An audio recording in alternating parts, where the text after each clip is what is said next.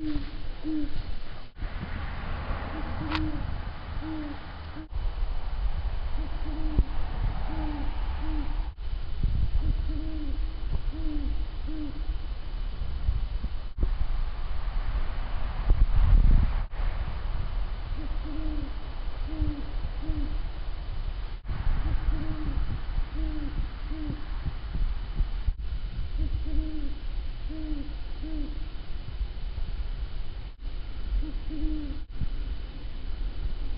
Well, everybody, hope you, you'll be able to hear that.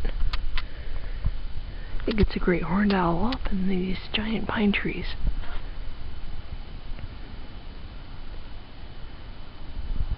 It's freezing cold out here.